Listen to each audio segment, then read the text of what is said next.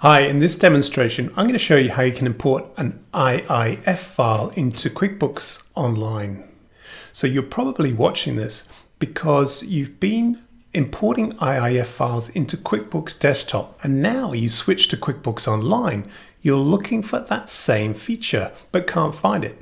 Well, unfortunately, IIF imports are not supported directly in QuickBooks Online. So just a bit of background about the IIF format. It's a text format and it supports multiple different transactions, whether they're sales, purchases, timesheets, or even journal entries. And it also supports lists. Now, you'll also find that some IIF files contain both lists and transactions, multiple transaction types in the same file. So they can be quite complex in their structure. What I'm going to show you in this demonstration is two ways that you can import that information into QuickBooks Online. So the first way involves actually opening the IIF file in Excel and doing a little bit of editing to make sure it's in a format that we can upload using the file import feature that's available in QuickBooks Online. Now, there are obviously some restrictions around that, restricted certain transaction types, and we'll also look at why we would need to do this edit every time that you upload. So there are some limitations, but it's a possibility. So I'm going to show you how we do that in the first way. And then in the second way, I'm going to show you how we can use a utility that will open the IIF file, translate it and convert it, and then import it directly into your QuickBooks Online file. So let's have a look on the desktop of how we do those two different ways. So I've opened my copy of QuickBooks Online and now I'm going to show you the IIF file and the contents of that that we're going to import into QuickBooks Online using the invoice import feature.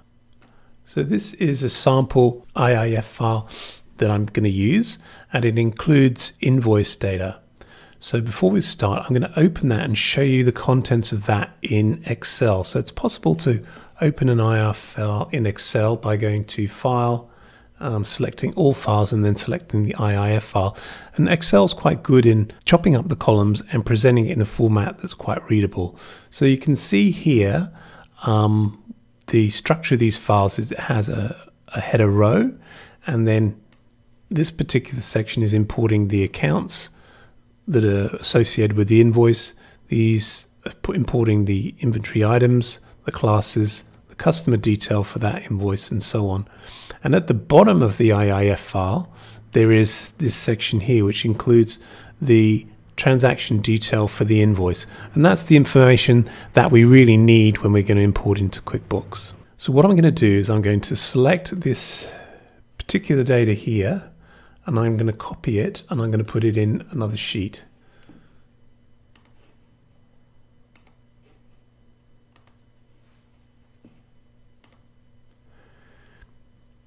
So this is the core information that we need. Now I'm going to structure it so that it's all on the same row. So I'm going to take these, what we call split line details and move it to here and then I'm going to take the corresponding split lines here and put them underneath this row, underneath their column headers, just like this. Finally tidy it up to remove some of the unwanted rows, in particular down here.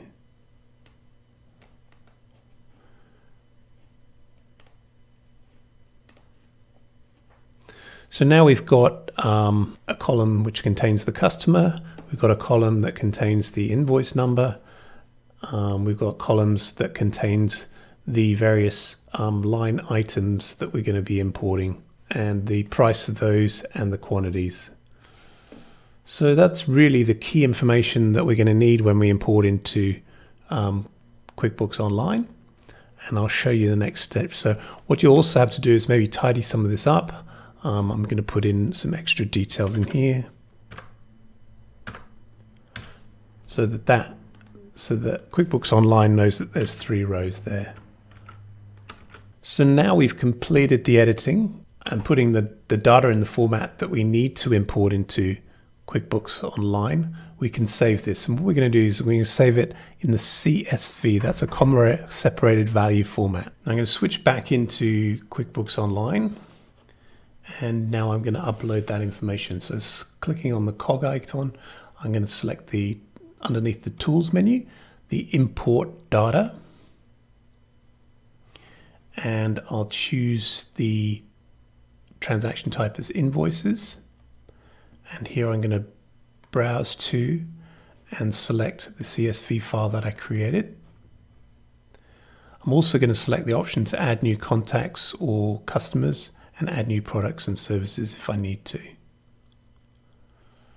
So the next stage is to actually go through and map the mandatory fields that we need to import. So we're going to select document number, we're going to select the customer name, the invoice date, the due date. We'll select the format of that date as well, which is going to be month, day, year, and so on. We're going to select the column that contains the item, which is this inventory item column, the quantity. So now we've mapped all our columns um, from the CSV import field to the QuickBooks field. We click Next and we select the tax codes that we want to convert from our tax codes in the in the IIF file. So that's going to be NOVAT, and we'll put this in as 20%. So once you've completed that and QuickBooks has validated we can then start the import process. And there we've done, we've imported that invoice from the IIF file into QuickBooks Online, albeit we've had to do quite a bit of of editing of data and cleaning it up from the IIF format, but it is possible. And we can see here the invoice that we've just been imported.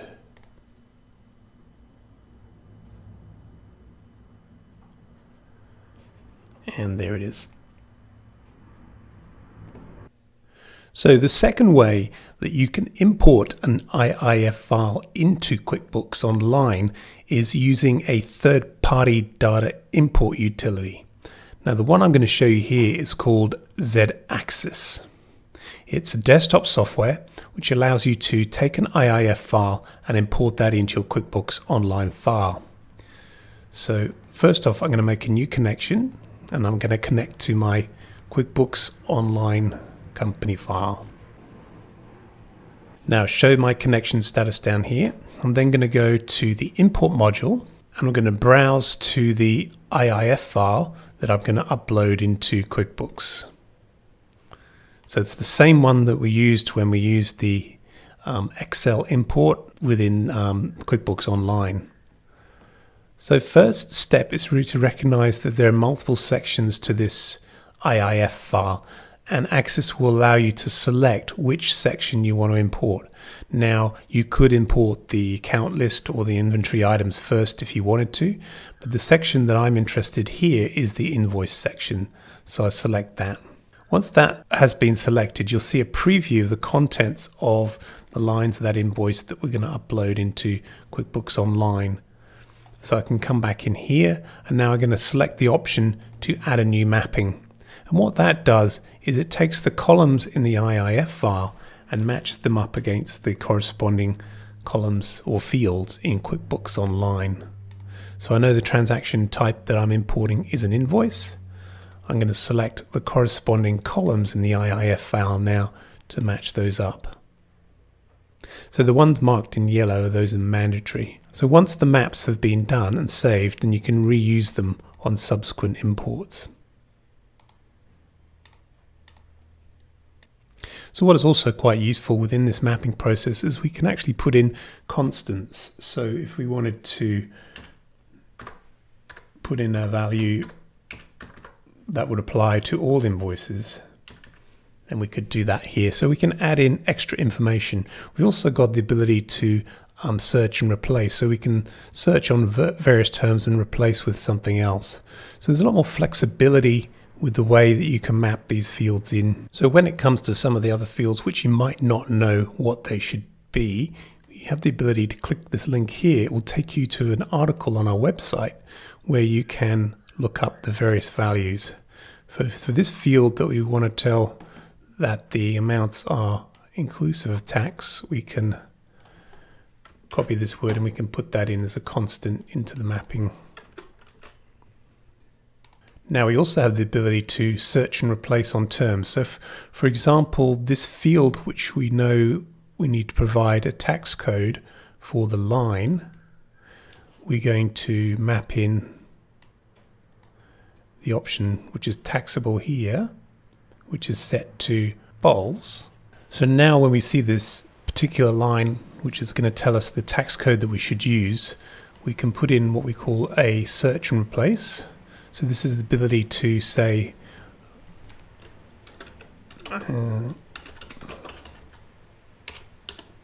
we can say whenever we see the word false, we're going to use put in the value of no VAT. give the mapping a name and we can save it. So that can be reused on subsequent imports. You also have the ability to change any data in this grid before we actually process the import. So we can change numbers as we need to. I'm going to change the invoice number here and then we can click on the import Axis will validate the data before it's imported to QuickBooks Online, and then we'll begin the process of uploading that directly into your QuickBooks Online company file. So this is one example of an invoice. You could be importing multiple batches of invoices using Zed Axis. So once the import is completed, you'll be able to see the status of that and we can see that that has successfully imported click on view, it'll actually take us to that transaction directly in QuickBooks Online so we can make sure that is imported as we wanted it to. So here's the invoice that I just created, was in the IIF file and I've just imported. You also have the ability before you exit the screen to undo that transaction if you need to. So you can delete it if you decided that you didn't want that um, imported that way. So with Zed Axis, you can import multiple IIF transaction formats, whether they're transactions such as invoices, um, sales receipts, checks, timesheets, journals, and so on. And also supports multiple list types as well, so customers, vendors, inventory items, and so on. So you have an extensive list of transaction types that you can upload, and that is without having to do any laborious reformatting of IIFs into the standard Excel format that QuickBooks Online built-in feature requires. So it gives you a lot more flexibility and powerful features when it comes to importing IIFs.